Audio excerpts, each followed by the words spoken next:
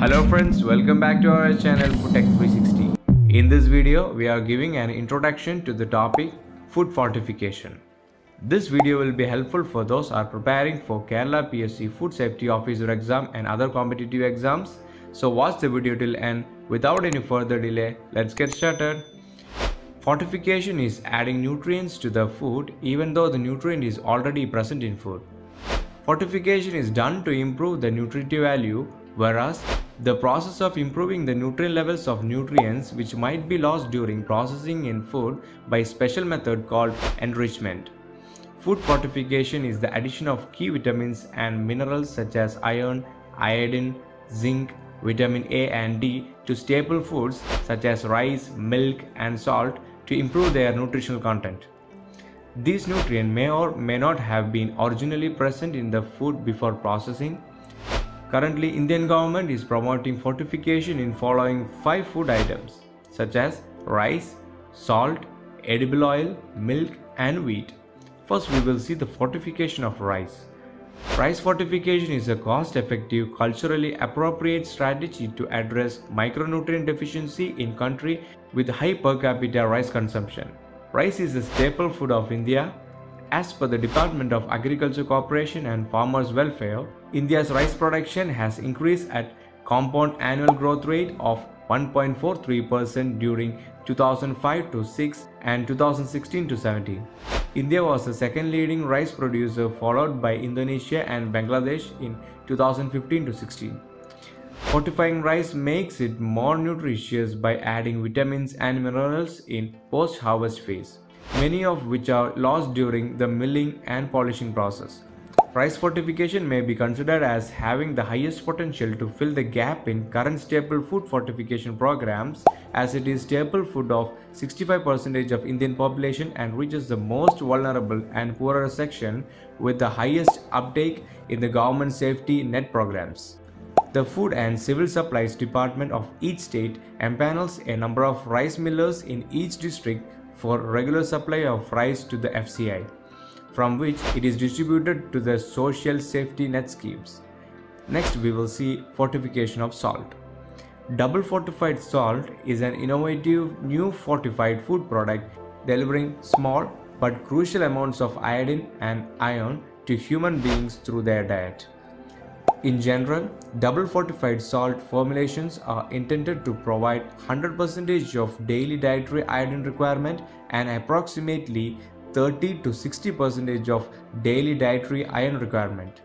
Dual fortification of salt with iodine and iron could be the sustainable approach to combat iodine and iron deficiency. India's National Institute of Nutrition that is NIN has pioneered the development of double fortified salt. NIN has also taken the initiative to transfer the technology to iodized salt manufacturers in the country and provides continuous quality control support. Third one is fortification of edible oil. Multiple micronutrient deficiencies are spreading in India and continue to be significant public health problems, which adversely impact the health and productivity of all the population groups. More than 57% of children suffer from vitamin A deficiency, which may be symptomatic or present at the subclinical level. In addition, a high proportion of pregnant women and their newborns suffer from vitamin D deficiency. Vitamin D is also considered to play an important role in decreasing the risk of many chronic illnesses including common cancers, autoimmune diseases, infectious diseases, diabetes and cardiovascular disease. As per Household Consumer Expenditure Survey in India, NSSO report 2011, consumption of oil is reasonably high about 20 to 30 grams per person per day and is consumed by all population groups. Since vitamin A and D are fat soluble vitamins, fortification of edible oils and fat with vitamin A and D is a good strategy to address micronutrient malnutrition and fortified oil is known to provide 25% to 30% of the recommended dietary allowance for vitamin A and D. Fourth one is fortification of milk. Milk is a rich source of high quality protein, calcium and fat soluble vitamins A and D. Vitamins A and D are lost when milk fat is removed during processing.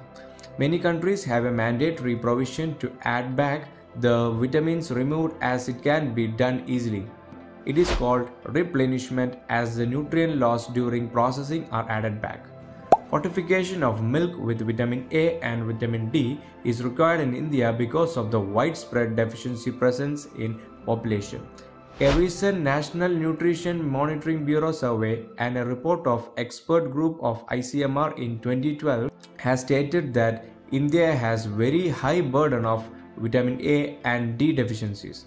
Among both young children and adults, particularly in urban areas, are physically less active and have a very limited exposure to sunlight. Since milk is consumed by all population groups, fortification of milk with certain micronutrients is a good strategy to address micronutrient malnutrition. India is the largest producer of milk in the world with 146.3 million tons of production and per capita availability of 322 grams per day. The dairy industry in India has progressed from a situation of scarcity to that of plenty. Fifth and final one is fortification of wheat. As per National Nutrition Monitoring Bureau Survey 2012, the average intake of cereals and millets was 375 grams per consumption unit per day, providing greater than or equal to 70% of recommended daily intake. Wheat is a staple food for most Indians in wheat growing areas such as north, west and central India and is consumed in form of homemade chapatis or rotis using custom milled atta which is nothing but whole wheat flour. For the year 2018 to 19, wheat consumption is forecasted at 93 million metric tons. Therefore, wheat flour is selected as a suitable vehicle for fortification to improve the nutritional status of mass population.